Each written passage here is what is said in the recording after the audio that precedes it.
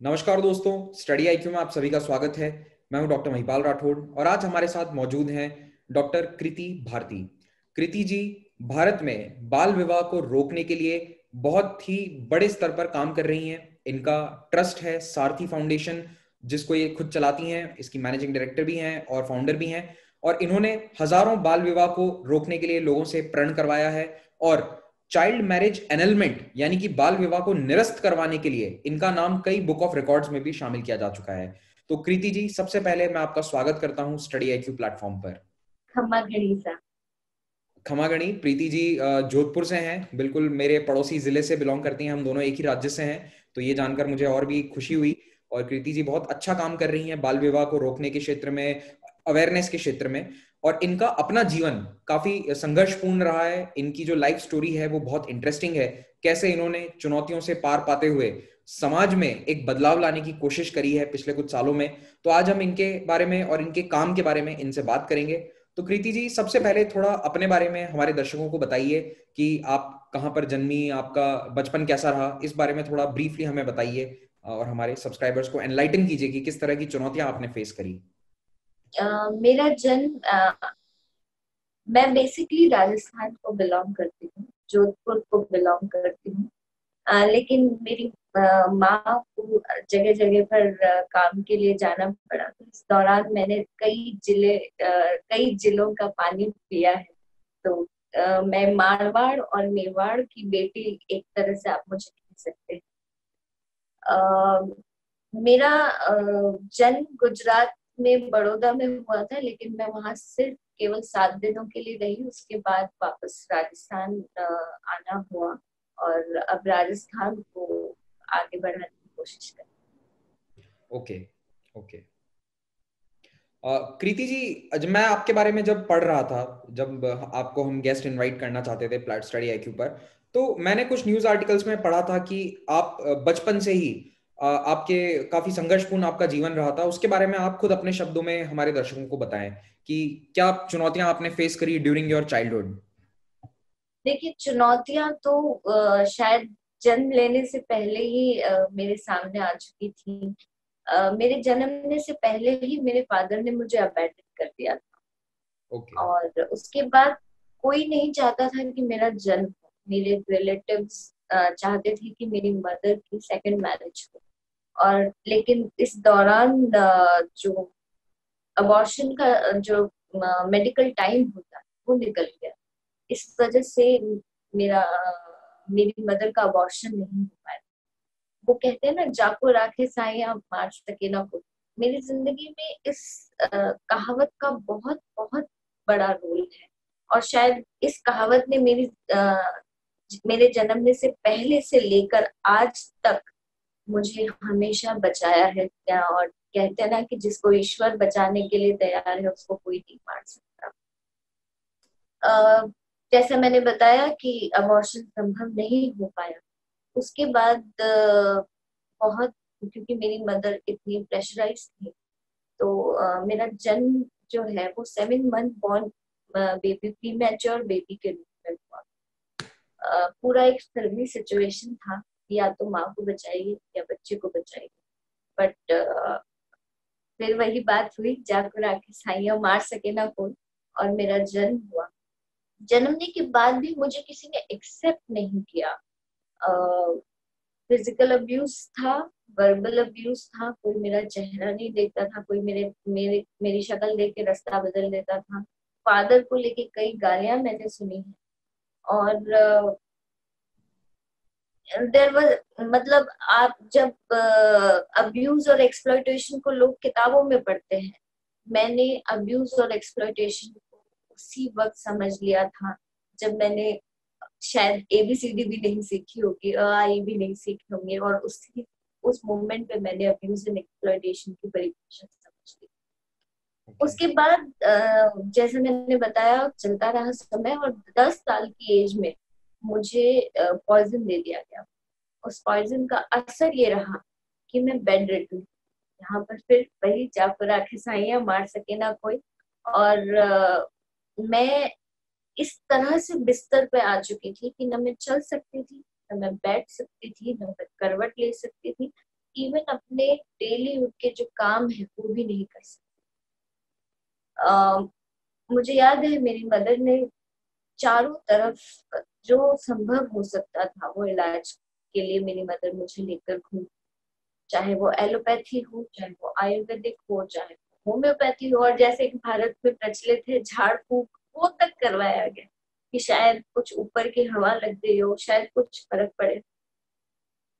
लेकिन डायग्नोसिस कोई नहीं कर पाया। एम्स से लेकर, बॉम्बे हॉस्पिटल से लेकर जितने बड़े बड़े आप नाम सोच सकते हैं सब जगह मुझे दिखाया गया लेकिन मे, मेरा कहीं डायग्नोसिस नहीं हो पाया कि इसे हुआ क्या है।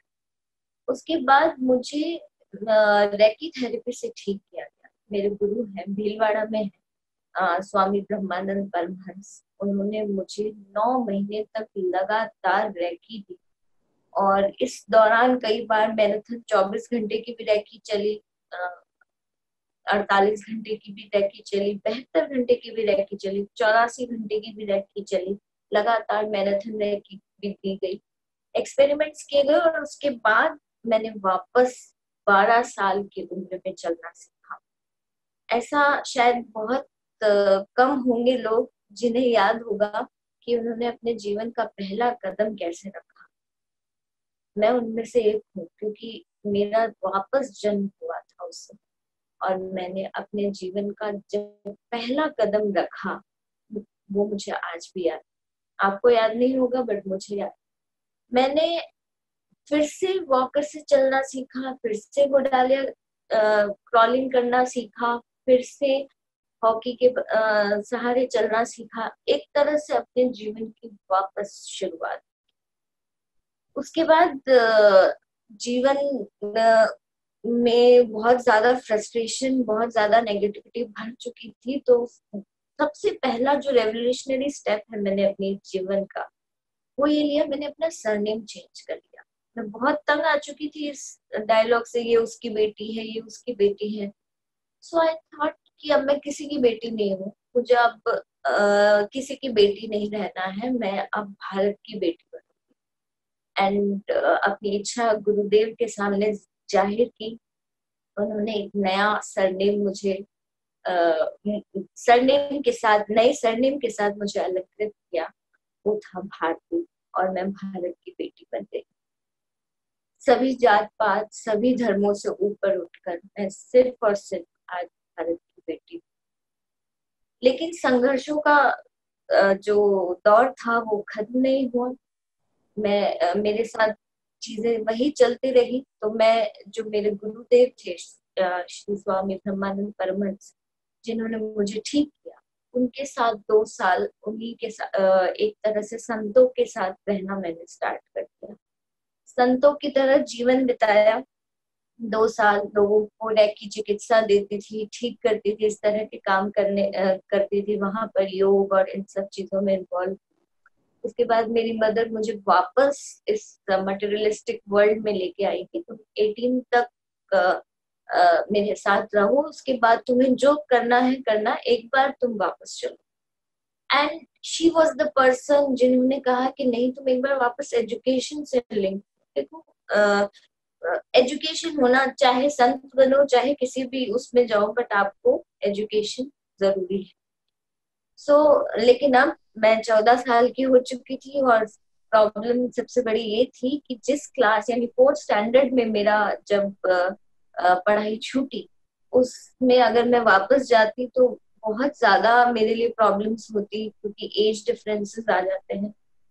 सो so, मेरी मदर ने मुझे फोर्थ स्टैंडर्ड से सीधा टेंथ स्टैंडर्ड मैंने जंप किया।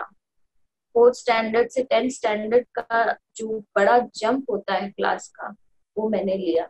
शायद बेसिक्स जो है एजुकेशन के, वो इसी दौरान पढ़ाए जाते हैं। मेरे लिए बहुत मुश्किल था उस दौरान, ये समझना कि मैथ्स और साइंस में हो क्या रहा है। इंग्लिश के अल्फाबेट्स में, के अलावा मुझे टेंथ में कुछ आता नहीं था। तो इन सब चीज़ों को स्ट्रगल करके 16 से 18 घंटे मैंने उस समय लगातार पढ़ाई की। एक टाइम टेबल होता था मेरा, उस टाइम टेबल को फॉलो किया। इस टाइम उठूँगी, इस टाइम सोऊँगी, इस टाइम खाना खाऊँगी, इस टाइम पढ़ूँगी, इस टाइम इस सब्जेक्ट को देना है। ये सब्जेक्ट इजी है, इसको कम देना है, ये सब्जेक्ट ये सब्जेक्ट टफ है, इसको देना है। इस तरह का टाइम टेबल और पूरा प्लान आउट करके मैंने वापस पढ़ाई स्टार्ट की। नेगेटिविटी मेरे चारों ओर थी, ये नहीं कर सकेगी, ये टेंथ पास नहीं कर सकेगी। सिर्फ़ मुझे और मेरी मदर को विश्वास था। कि मैं कर लूँगी। हालाँकि विश्वास था, लेकिन एक दिमाग में आपके नेगेटिव चीज़ें ज़रूर आती हैं बट उसको ओवरकम किया और मैंने टेंथ क्लियर किया। मुझे आज भी याद है, खुशी के आँसू ये जो कहावतें हैं, ये मैंने उनको चरितार्थ होते हुए देखी है कि जब टेंथ का रिज़ल्ट आया है और उसमें उस उस टाइम पे अखबार में रोल नंबर छपते थे तो पहली बार रोल नंबर मिला दूसरी बार नहीं मिला तीसरी बार वापस मिला। तो उस दौरान जो आ, मिलता और खुशी के आँसू आ जाते दैट वाज द शायद आज मेरे पास पीएचडी की डिग्री है मैं और भी बहुत सारी डिग्रीज ले चुकी हूँ पोस्ट डॉक्टरल चल रहा है।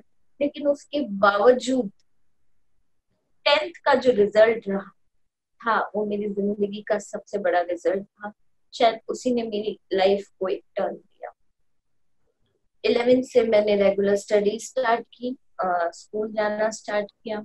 उस दौरान कई कुछ डिबेट कॉम्पिटिशन में मैंने पार्ट लिया। मेरे टीचर्स ने मुझे सपोर्ट किया, उन्हें मेरा बैकग्राउंड पता था तो उन्होंने मुझे एक तरह से वापस तैयार किया।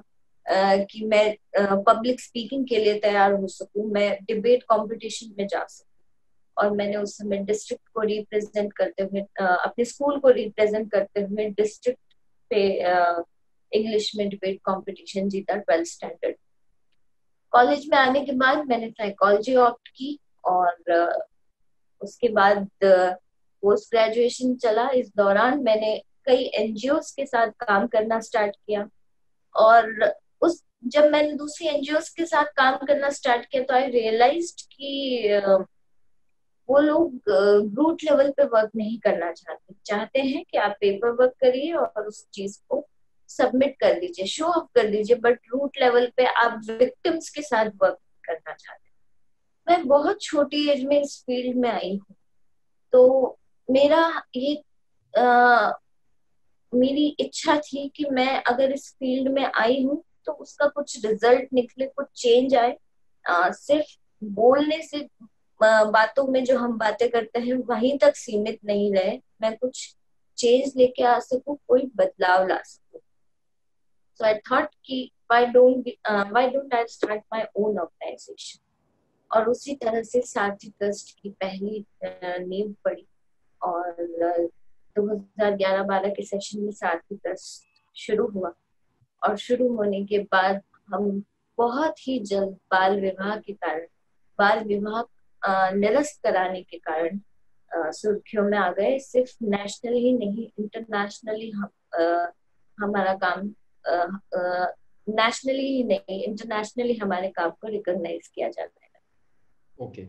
तो आपने जैसा बताया कि आपने कई एनजीओ के साथ काम किया फिर उसके बाद आपने अपना ऑर्गेनाइजेशन शुरू किया। तो ये आपने काफ़ी यंग एज में स्टार्ट किया तो हाउ डिफ़िकल्ट और how easy it is for someone to start an NGO और मैं ये स्पेसिफिकली इसलिए पूछ रहा हूँ क्योंकि जो हमारे दर्शक हैं वो मोस्टली uh, ऐसे युवा हैं जो कॉम्पिटेटिव एग्ज़ाम्स की तैयारी कर रहे हैं।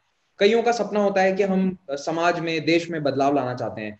तो बेशक वो सर्विसेज़ के थ्रू सिविल सर्विसेज़ के थ्रू ऐसा बदलाव लाना चाहते हैं। लेकिन अगर कोई उस रास्ते पर ना जाकर आप वाले रास्ते को चुने जो कि मेरे ख्याल से एक और डायरेक्ट तरीका है तो वो कैसे स्टार्ट कर सकता है? क्या एक एनजीओ स्टार्ट करना बहुत चुनौतीपूर्ण काम है या फिर देश में आसानी से उसे स्टार्ट किया जा सकता है? uh, महिपाल जी मैं आपको बताना चाहूँगी मेरी मदर चाहती थी कि मैं आई का एग्ज़ाम हम्म। मैंने हमेशा इलेवेंथ से मैंने मैं हमेशा टॉप स्कोरर रही डिस्टिंक्शन मार्क्स लेकर आई हूँ और टॉपर्स में से एक रही हूँ। तो सबका एक वो होता है कि जो टॉपर्स की लिस्ट में है वो आर एस आई एस की तरफ़ ही उसका रुझान होगा वो उसी तरफ़ जाएगा। बट आप यकीन नहीं मानेंगे कि मैंने जिद की कि मैं एक भी मैंने एक भी कंपटीशन एग्ज़ाम नहीं दिया। नहीं मुझे नहीं करना। मुझे जो बदलाव लाना है वो मैं एडमिनिस्ट्रेटिव पोस्ट पे ला आकर नहीं ला सकती क्योंकि मैंने ये देखा है कि कई जगह पर ये सिचुएशन हो जाती है कि आप पॉलिटिकली प्रेशर में आ जाते हैं। एंड मैंने ऑलरेडी इतना प्रेशर चीज़ों में झेल रखा था। So I wanted to do something different मेरा हमेशा से ये रहा है कि मैंने कभी uh, भीड़ को फॉलो नहीं किया है। Uh, एक नई राह बनाने की कोशिश की है कि खुद भी उस राह पे चलूँ। हालाँकि कई बार तो मुझे शुरुआत में तो ऐसा लगता था कि मैं जिस राह को बनाने चली हूँ यहाँ तो राह ही नहीं है सड़क तो दूर मुझे ज़मीन तक यहाँ पर क्रिएट करनी है। लेकिन आप मानेंगे नहीं कि उससे आपको जो इंटरनल सेटिस्फेक्शन होता है कि yes you have given something to the society आपने वापस एक बेटरमेंट सोसाइटी को दिया है, वो बहुत इम्पोर्टेंट है। जब आप बात कर रहे हैं छोटी एज में ये सब स्टार्ट करने की तो सबसे बड़ी प्रॉब्लम आती है जब आप इस तरह कहीं जाके काम करने की कोशिश करते हैं, क्योंकि कहीं ना कहीं गवर्नमेंट हर चीज़ के साथ लिंक्ड है।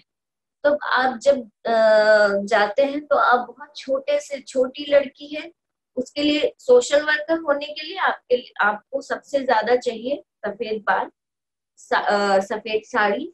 एक हमारे समाज में एक बना दिया गया है कि आप सोशल वर्कर का मतलब सफ़ेद साड़ी, सफ़ेद बाल एजेड होनी चाहिए और वही सोशल वर्क कर सकते हैं।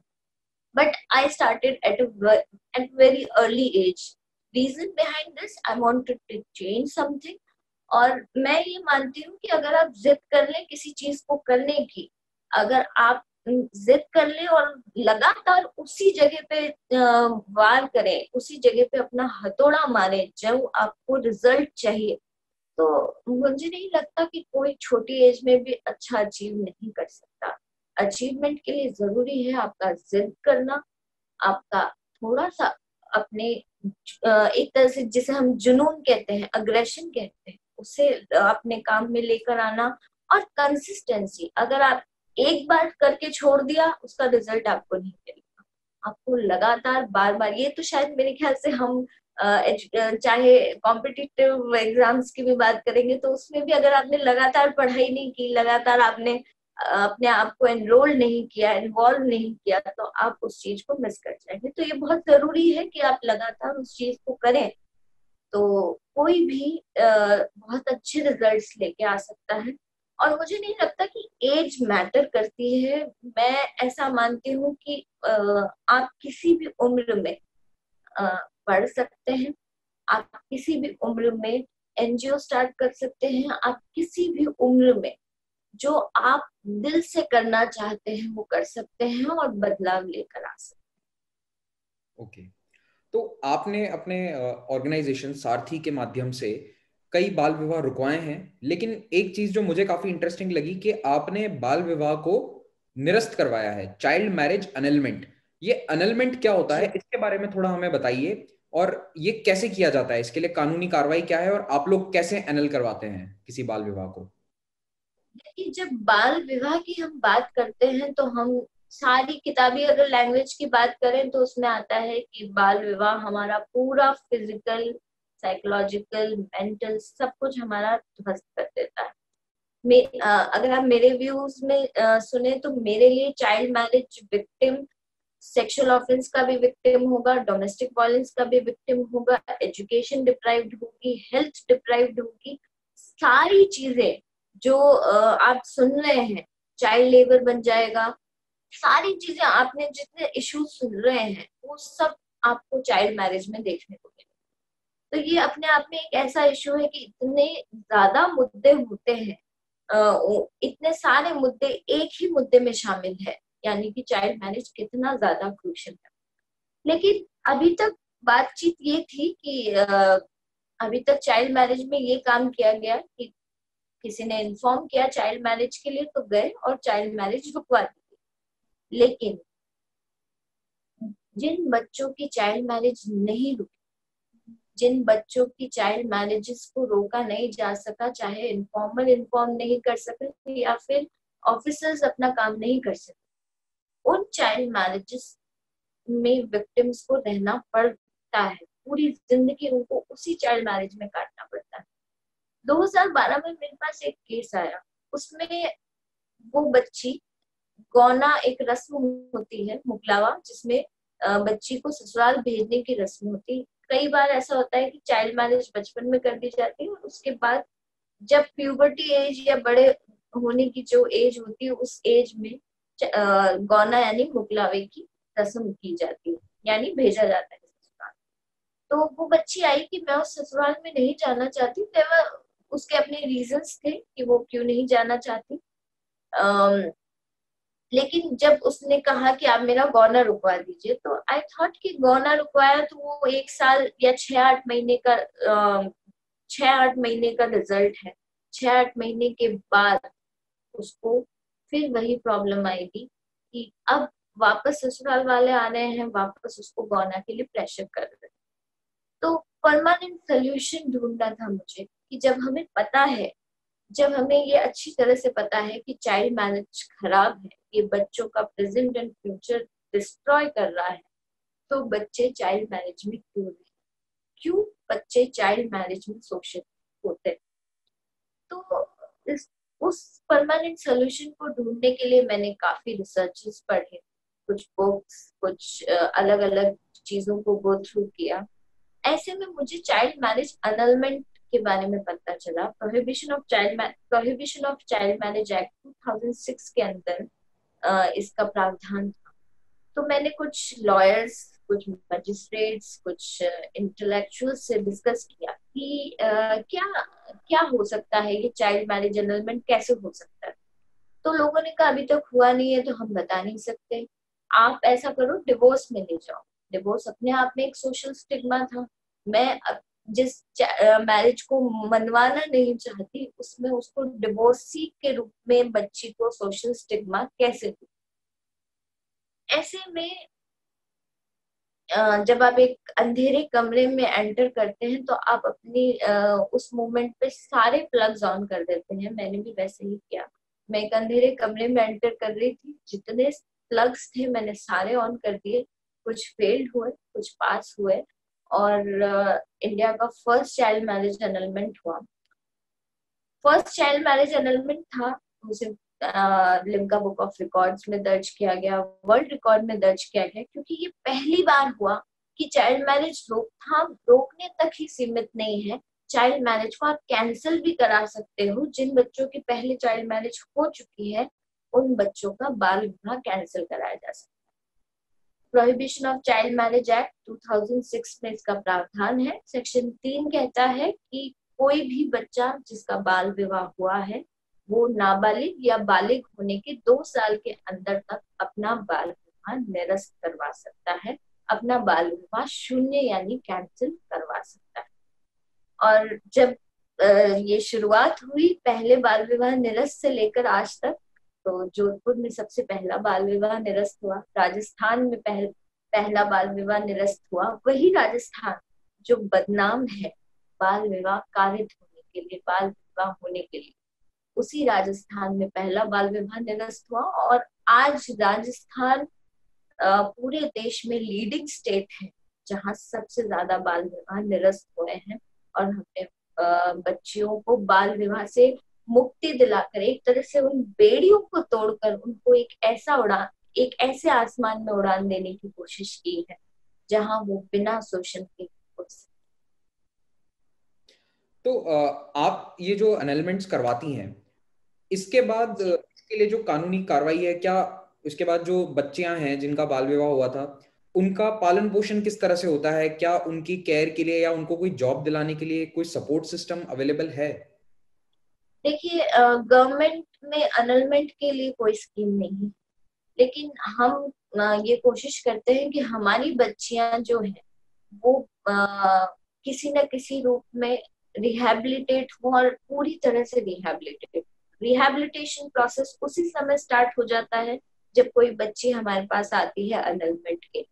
उस दौरान उसकी काउंसलिंग उसकी फैमिली की काउंसलिंग कम्युनिटी काउंसलिंग कम्युनिटीज में आपने अगर जाति पंचों का नाम सुना होगा तो वो सबसे बड़े हमारे बड़े, सबसे बड़े बैरियर है स्पीड ब्रेकर है। वो चाहते, वो नहीं चाहते कि चाइल्ड मैरिजेस खत्म हो।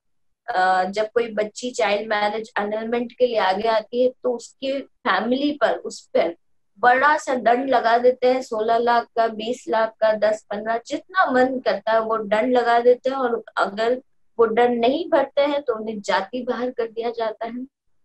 सिचुएशन इतनी क्रूशल हो जाती है कि वो किराना से राशन भी नहीं ले पाते। उनके रिश्तेदारी में आना जाना बंद हो जाता है, बहुत ज़्यादा उनकी लाइफ को पथेटिक बना देते हैं।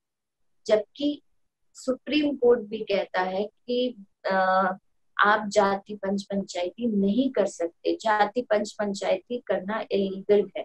आपके अभी जितने श्रोता मुझे सुन रहे हैं, जितने लिसनर्स अभी मुझे सुन रहे हैं, मैं उनसे यही कहना चाहती हूँ, जो लोग गाँवों को गाँवों के बैकग्राउंड से हैं प्लीज़ जाति पंचों को सपोर्ट मत करिए। अगर वो किसी भी तरह का आपके ऊपर दंड लगा रहे हैं तो उस दंड को मत छेलिए आवाज़ उठाइए, एफआईआर दर्ज करवाइए, उनको सजा दिलवाइए, क्योंकि वो गलत काम कर रहे हैं। किसी की भी ज़िंदगी का फैसला लेने का हक सिर्फ़ और सिर्फ़ कोर्ट्स को है, जो कानून के अंतर्गत स्थापित, हमारे हर ज़िले तालुका के अंदर स्थापित है।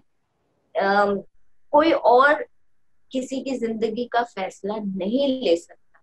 खासकर जाति पंच तो बिल्कुल भी नहीं ले सकते, ये इलीगल है और इलीगल चीज़ों को सपोर्ट करना भी इलीगल काम के अंतर्गत आता है। तो मैं आपको बता रही थी कि जब कोई बच्ची हमारे पास आती है तो हमारा उसके साथ काउंसलिंग का प्रोसेस स्टार्ट हो जाता है।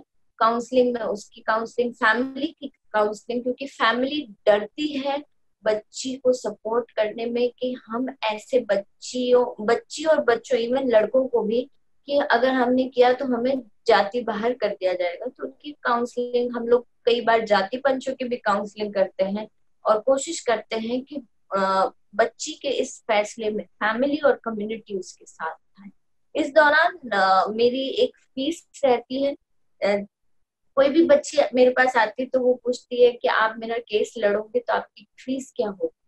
तो मेरी एक फ़ीस होती है, वो फ़ीस होती है कि जहाँ से आपकी एजुकेशन ड्रॉप आपको वहीं से एजुकेशन स्टार्ट करनी जहाँ से आपने पढ़ाई छूट गई किसी भी कारण से आपकी पढ़ाई छूट गई आपको वहीं से एजुकेशन स्टार्ट कर, करनी पड़ेगी और कंटिन्यूस आपको पढ़ना पड़ेगा यही मेरी फ़ीस और एजुकेशन uh, से लिंक इसलिए भी बहुत ज़रूरी है क्योंकि हम भारत देश में रह रहे हैं अगर आप एजुकेटेड नहीं है आप एम्पावर्ड नहीं है आप एक मेल प्रैक्टिस चाइल्ड मैरिज से तो मैं निकाल लूँगी लेकिन यहाँ इतनी सारी अलग अलग कुप्रथाएँ हैं। अगर आप अपने आप में एम्पावर्ड नहीं हुए तो आप अपने आप को नहीं निकाल सकते उन सिचुएशन से रिहेबिलिटेशन प्रोसेस में ही हम बच्चियों को उनके करियर से जोड़ने की कोशिश करते हैं। मेरी कुछ बच्चियाँ अभी मेडिकल में हैं कुछ बच्ची इंजीनियरिंग कर रही हैं। कुछ बीएड कर रही हैं कुछ अभी ग्रेजुएशन में है कुछ ट्वेल्थ में है कुछ टेंथ में है अलग अलग जिसकी जहाँ जहाँ से ड्रॉप आउट है वहीं से उनकी एजुकेशन कंटिन्यू और ये सभी वो बच्चियाँ हैं जिनके बाल विवाह या तो निरस्त करवाए गए या फिर रुकवाए गए ये वो बच्चियाँ हैं। और हम कोशिश करते हैं हालाँकि हमारे पास फंडिंग सिस्टम बहुत लिमिटेड है तो कुछ लोग स्पॉन्सर करते हैं बच्चों का एजुकेशन हालाँकि स्पॉन्सर्स बहुत कम आते हैं चाइल्ड मैरिज की विक्टिम्स को सपोर्ट करने के लिए तो हम हमारे जो ट्रस्टीज हैं वो इसमें सपोर्ट करते हैं बोर्ड मेंबर्स हैं वो सपोर्ट करते हैं। मैं जो अर्न करती हूँ मेरा सारा इसी में जाता है कि हर बच्ची एजुकेशन से लिंक हो और आ, किसी न किसी रूप में उस की एजुकेशन नहीं रुके और वो कहीं वो अच्छा करियर बना के अपने पैरों पर खड़ी हो जाए। उसके बाद उसकी लाइफ में शायद मुश्किलें कम आपके इंट्रोडक्शन के दौरान एक बात मैं बताना भूल गया था हमारे श्रोताओं को कि कृति जी के जो काम है वो इतने सम, वो इतनी सम्मानित हुई है अपने काम के लिए कि अब उनके बारे में सीबीएसई की किताब में भी इंक्लूड किया गया है एक चैप्टर में। तो अब देश के बच्चे इनके बारे में पढ़ेंगे और जानेंगे कि किस तरह से ये समाज में एक बड़ा परिवर्तन लाने की कोशिश कर रही हैं। तो कृति जी मेरी तरफ़ से भी सल्यूट है आपके एफर्ट्स को, क्योंकि अपनी करियर को, अपनी आई वुड से अपनी जवानी को साइड में रखकर ये काम करना कोई छोटी मोटी बात नहीं है। आपने अपना पूरा जो यूथ है, वो इसी पर टारगेट कर दिया है कि देश में, समाज में बदलाव आए और इसके लिए आप कार्य कर रही हैं। आपको कई जगह सम्मानित भी किया गया है देश विदेश में बीबीसी ने कृति जी को एक बार top hundred most influential women में भी शामिल किया था। तो इस तरह के देश विदेश से इन्हें सम्मान हासिल हुए हैं और मैं इसलिए भी ज़्यादा प्राउड हूँ इनके लिए क्योंकि ये मेरी ही मातृभूमि को बिलोंग करती हैं और हम सभी जानते हैं राजस्थान में कि बाल विवाह एक बहुत बड़ी समस्या है यहाँ पर। तो उसकी रोकथाम के लिए इस तरह के एफर्ट्स बहुत ज़रूरी हैं। कृति जी जाते जाते मेरा आपसे बस एक ही सवाल है।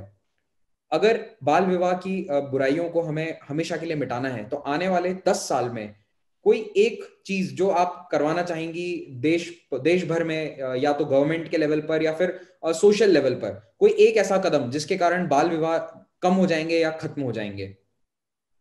कोई भी स्टेप देखिए गवर्नमेंट लेवल पे देखिए गवर्नमेंट के लेवल पर तो हम बहुत सारी चीज़ें कर रहे हैं। और हम कोशिश कर रहे हैं कि कानून में कुछ और बदलाव आए ताकि कानून और मज़बूत हो ताकि बाल विवाह हो ही नहीं। आ, लेकिन आ, मैं चाह मेरी जो इच्छा है वो समाज से अभी ज़्यादा मैं अपील करूँ। मैं इतने साल के एक्सपीरियंस में आ, अपनी पूरी ज़िंदगी के एक्सपीरियंस में मैंने एक चीज़ को समझा है। वो ये है जब कोई लड़की जन्म लेती है तो उसी के साथ जन्म ले लेता है एक डर वो है जेंडर का डर। और ये जेंडर का डर आपको बहुत सारी चीज़ों में देखने को मिलेगा। जैसे जैसे वो बड़ी होती जाती है, वैसे वैसे ये डर बढ़ता जाता है। ये डर आपको दहेज प्रथा में देखने को मिल जाएगा। ये डर आपको सेक्सुअल ऑफेंसेस में देखने को मिल जाएगा। ये डर आपको बाल विवाह के रूप में देखने को मिल जाएगा। ये डर आपको छेड़छाड़ के रूप में देखने को मिल जाएगा। हर जगह जहाँ पर एक लड़की खड़ी है, उसको हर जगह ये डर महसूस होगा, क्योंकि वो जिस जिस समय उसका जन्म होता है, उसी समय ये जेंडर का डर जन्म ले लेता है।